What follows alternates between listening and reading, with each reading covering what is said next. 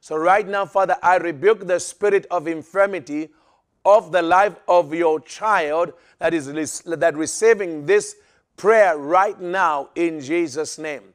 Like Lord Jesus, like you rebuked the spirit of infirmity of the woman who was bound for 18 years by the devil.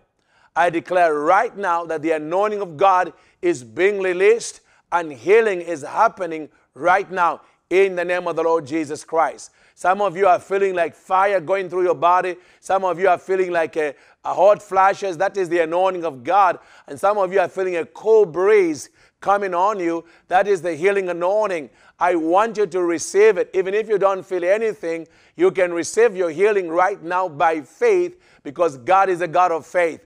In Jesus' mighty name.